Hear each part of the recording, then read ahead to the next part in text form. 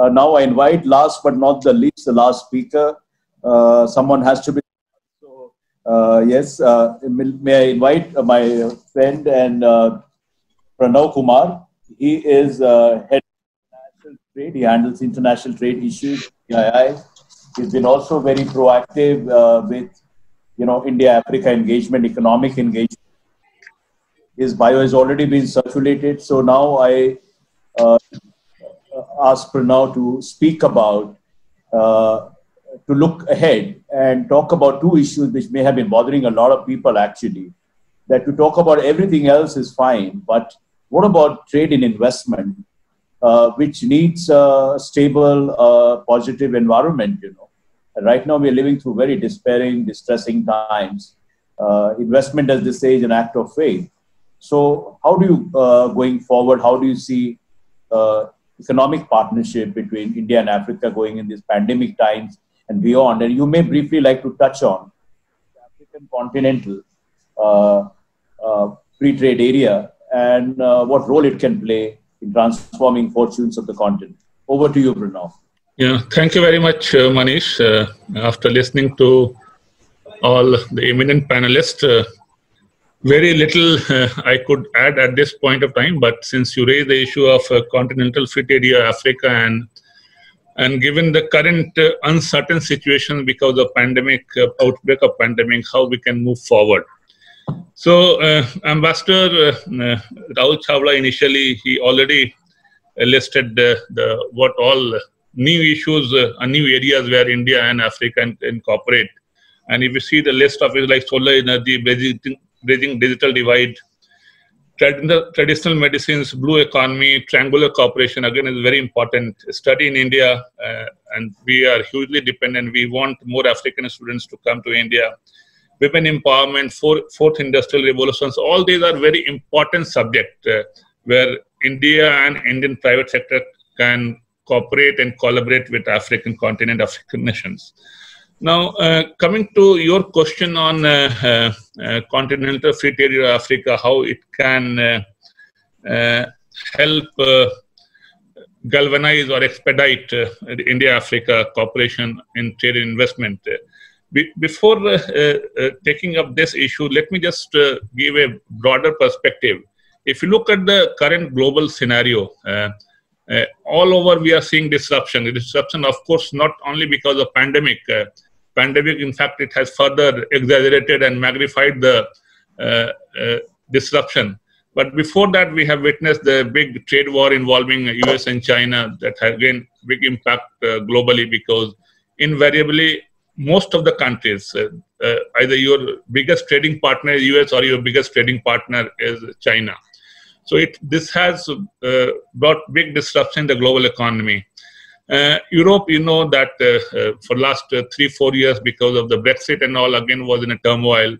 Uh, within Asia Pacific, we were negotiating the big uh, continental uh, or big trade agreement like RCEP, Regional Comprehensive Economic Partnership.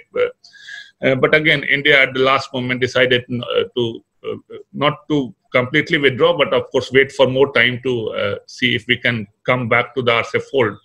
So, uh, from North America to Europe to Asia Pacific, we have uh, witnessed a significant amount of uh, disruption, and that has really uh, impacted the mood of the business because business uh, planning and business strategy depends upon the uh, certainty, some kind of predictability. And if you compare with the African continent situation, Africa also witnessed disruption, but more in the positive in nature. Uh, Agenda 2063 already we know that's a very visionary and, and, uh, and long-term uh, agenda for the African continent. and more importantly, the big initiative by African, 55 African nations to integrate the African economy. That's a big step forward in spite of the various challenges we know. Uh, but they went ahead, uh, they signed the agreement in 2018, so it's almost more than one half year they are going ahead and now they are planning to go into the second phase of negotiations and that will definitely uh, have big impact on african engagement with the rest of the world because if you see the uh, uh, uh africa as a continent uh, uh, the intra-Africa trade is very minimal, very low in comparison to intra intra-regional trade in whether it's Europe or America or Asia you talk about. So, so Africa depends upon other parts of the world both for investment and trade.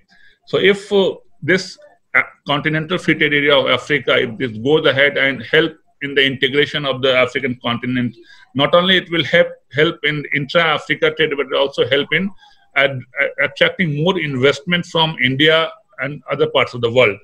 Because if you uh, uh, see the major concern of uh, Indian investment, for instance, uh, uh, because since the African market is not integrated, individual African countries not big in terms of if you see the inv big investment has to go, then of course investor investor would need a economies of a scale also. So if even not continent-wise, even four or five uh, regional economies are also integrated, that's a huge, huge attractiveness for Indian investment and investment from other parts of the world to go to Africa.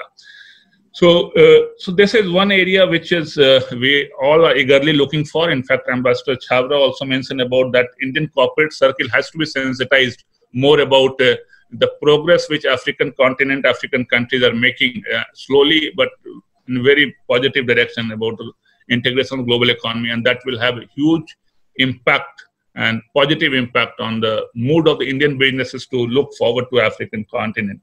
Uh, second issue is uh, again uh, we somebody mentioned about the, the duty-free tariff preference scheme which India announced in 2018 2008 at the first India Africa Forum Summit, and later on it was uh, scaled up and, and the current coverage is more than 98.4%, uh, more than 98% duty free.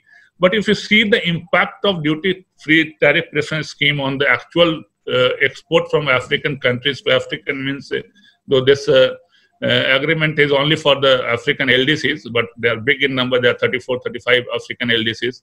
But we haven't seen much uh, increase in the export from Africa to India. And of course, there are regions behind it. And except Tanzania and a couple of other countries, they have not been able to increase their export to India. So, uh, in fact, we have been doing some work on that. We CII has partnered with International Trade Center Geneva. They have a big project on duty-free tariff preference, and also they're trying to see how Indian investment can go. So, at that time, we as CII, we interacted with many African uh, uh, diplomats, African uh, private sector leaders, and all.